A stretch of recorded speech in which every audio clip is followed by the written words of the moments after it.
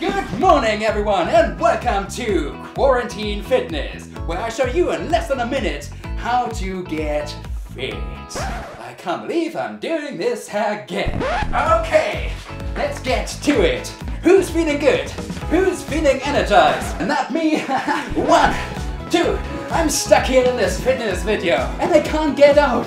I have no control over my body. Every time somebody clicks on the video, I have to do all of this again and I'm exhausted. So please, don't click on the video again.